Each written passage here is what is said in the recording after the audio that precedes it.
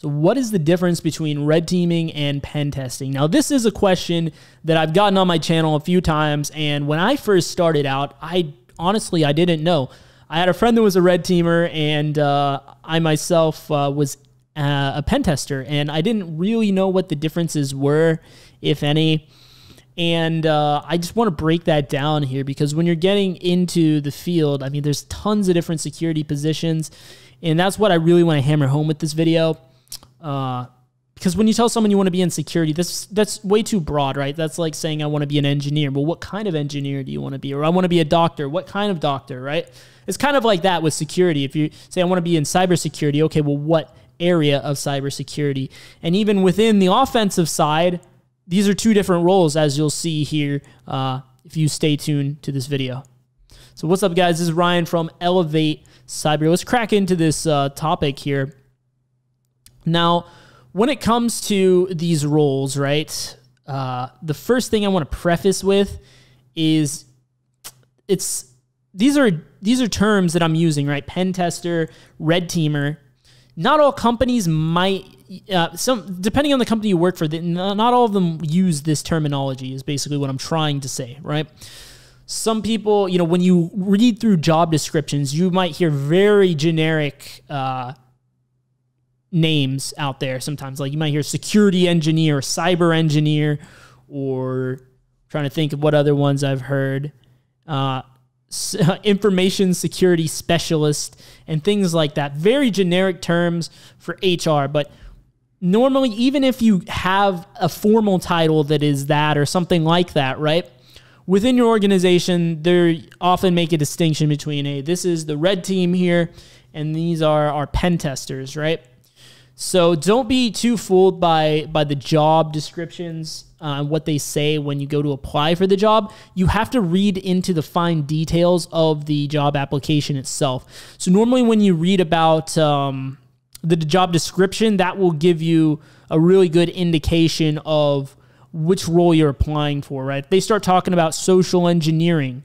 They start talking about um, you know persi- like lateral movement and things like that, right? That is a red team role, okay? And on the other hand, if they start talking about you know, if, if those terms are left out, then most of the time you're dealing with a pen tester role. So the goal for both of these positions, and for the sake of simplicity in this video, I'm going to say red team to refer to, you know, the guys who do the social engineering and things like that. And I'm going to use pen testing to refer to the other group, right? So when it comes to these different roles, right? They both share the same goal of strengthening the security of an organization. They're both on the offensive side, so they both their end goal is to make the security of an organization stronger, okay? So they are unified in that goal and they fall under the same, you know, the same area within a security organization as well. Okay. But the main distinction between these two is that the red team, they look for flaws in processes of security processes, whereas pen testers look for flaws in the technologies or the implementations of the technologies. Now, I know it's a lot of technical jargon, right? So what does that really mean? Okay, well, let's start with pen tester, right? You might be more familiar with that if uh, you know that's what I talk about most on this channel because that's personally what I do. I, I'm not a red teamer, I am a pen tester. So when I talk about looking for flaws in the technology or the implementation of the technology, what I mean is you know, the software that is running. Is there any vulnerabilities in the software, right? Can I pull off any exploits on the technology, right? If you think of OSCP, if you're familiar at all with the OSCP, and if you're not, that's fine. Uh, or CTFs for that matter. If you've ever done a CTF or seen anyone do it, right, you're normally looking for. Um, it's more nor, normally more geared toward the pen tester, if you will, where you're you know you're doing some recon and then enumeration on the software that's running and the specific version of it. And oh, okay, that's vulnerable to this exploit. You pop off the exploit, you get a shell, right? that is more of like a pen tester thing to do. Now, a red teamer, he probably wouldn't even go that route. He would probably do some kind of social engineering after doing recon on the organization and the people that work there to find out how he could craft that perfect email or maybe do a USB drop or something like that to get that initial access and that shell on the system, you know, fire up his uh, maybe an, load an agent into memory to connect to his C2 and then make lateral moves from there. I know it's a ton of jargon, tons of jargon there, but for the guys that did understand what I'm saying, that's one thing that, that's one way they would definitely differ. Now, to put in more layman's terms where even you new guys will be able to understand is that we're focused on technology as pen testers, right? So the CTFs and things that you've seen out there, if you ever done hack the box or if you ever you know, watch content even on my channel.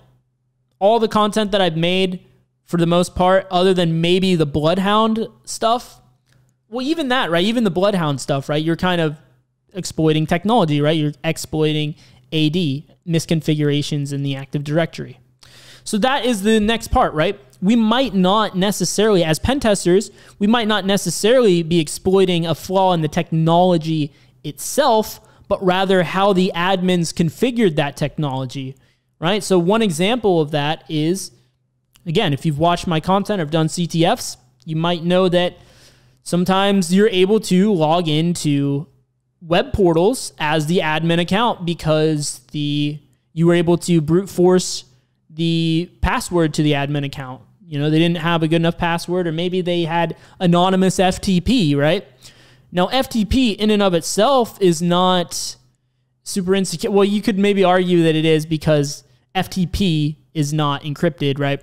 But you know, these passwords, right? How, you know, using the technology, using Tomcat wasn't the vulnerability, but the fact that you had a default credential or an easy to guess credential as the password to the admin account, that's the vulnerability. Now, that is something that, you know, you're not going to call up uh, the the uh, vendor of Tomcat and say that uh, they have a security flaw and put in a CVE. No, that was that was a mistake made by the admins, right?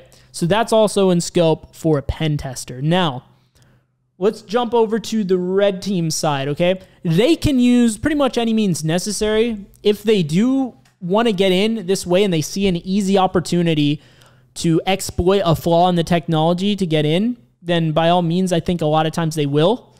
But the easier option and what they're really there to do is to test the processes. So they're going to use social engineering and actually try to exploit people rather than the technologies. They're testing the process, you see. That's the difference. So, what do I mean by testing the process of a security organization? Well, by that, what I mean is that they are going to get that initial shell, right? And once they get it, they are going to see what kind of things they can do on the network without being detected, right? They're going to go as far as they can. A lot of times, as pen testers, especially if you're working for, uh, you're working in the corporate world for this stuff, you're not going to get shells too often, if ever. And what is in scope for you to do at the point that you get it, get it is very limited, if anything at all, right? With Red Team, they're getting shells all the time because they're using social engineering and things like that. And their part of their job is to be in there inside the network, inside the servers, and deploy their command and control framework, which is basically a way for them to remotely control and manage their shells that they have, right? And they're going to test what can they get away with once they're already in, right? A lot of companies have what is called a assume breach mentality. And basically what that means is they're going to act as if they're already breached and they're going to make sure that they have security in place in multiple layers. So they're going to assume, okay, we have sites out there on the internet. Let's just assume those sites are already compromised and adjust our security to account for that. So we need to make sure that even if someone hacks in, that it's going to be very limited what they're able to do and how they're able to pivot, right? Because a lot of times these big hacks you hear about, they start out with something really small. Maybe it's a point of sale system, maybe it's a website that gets hacked, and from there the attacker is able to make lateral movements or, you know, privilege escalation and things within the network through various means, right? And so that's one of the reasons the red team is there. They need to test uh, what they can do once they do get in. And um, there's a blue team, right? That's on the defensive side, and they're trying to detect the red teamers. Also, a lot of times, red team does what they call purple team engagements, where they're working directly with the defensive uh, blue team, and they're actually, you know, in close contact with them and saying, "Hey, we did this. Did you detect this?" No, we didn't. Oh, okay. Well, this is how we did it. Okay, yeah. Now we adjusted our stuff. We detect it now, and they're working really in tandem with each other. That's called like purple team exercises. Something you might have heard if you're in the industry. But as pen testers, we normally don't deal with any of that. We're just testing the technology and things like that uh, consistently. Now, I personally prefer, highly prefer, web app pen testing. What I do is I uh, I do some network pen testing as well, but web app is amazing because, especially in 2021, because you'll always be able to work from home. The issue with Red Team, in my opinion, if you're like me and you don't want to work in an office ever again, right? I'm never going to work in an office again because I just don't like uh, having to waste time commuting and stuff. I'm so much more efficient. I can learn so much more every day because I have more time to uh, to work, right? Uh, so much less uh, wasted time. But if you are on a red team, chances are now I'm sure there's exceptions to the rule out there, but chances are you're going to have to go to a physical location to test some of this stuff because a lot of red teams they actually do some physical pen testing as well where they're actually going in and using real life social engineering to get into a facility and you know maybe they're testing some hardware even. A lot of times they're plugging in directly into the server room and things like that and seeing what could an attacker do if he's able to get uh, physical access into a facility and things like that, or even Wi Fi pen testing. Like, okay, what could someone on the Wi Fi network do? And then, yeah, there's all these different cases like that. And there's just no way around it. If you're going to test something like that, you have to be physically there in order to perform a very thorough and sufficient uh, assessment, right? But as a web app pen tester, by the nature of web apps, they're always going to be accessible uh, online, right? Even if they're within an internal network, well, you just VPN onto the network and you can do it from anywhere, right? And that's the beauty of pen testing. And honestly, I had thought about Red Team many times before because let's be honest, it is cool. It sounds cool, right? You to use social engineering.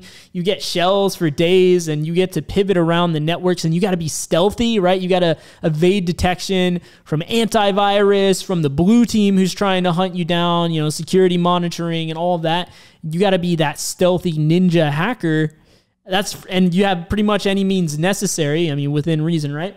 And that's really cool, right? That's really really cool, but ultimately, when it comes down to it, having that freedom of working from home and still getting to test some really cool stuff with uh, the web app side and learning more about that security space, even do some uh, tests against the servers and things like that.